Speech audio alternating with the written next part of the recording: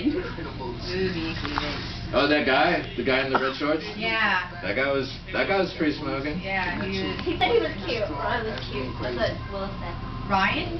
Willis, Willis said that Ron was cute. Ryan was the cutest one. I, I, I out of all of thought them. Ryan So you're checking out guys. He was the, he was the No, youngest was- one. You're checking out guys and girls. Like, No, I have I have no quarrels with saying who's cute and who's not, with guys or girls. He said he's 23. I told him I'll They all know that. Stop taking video.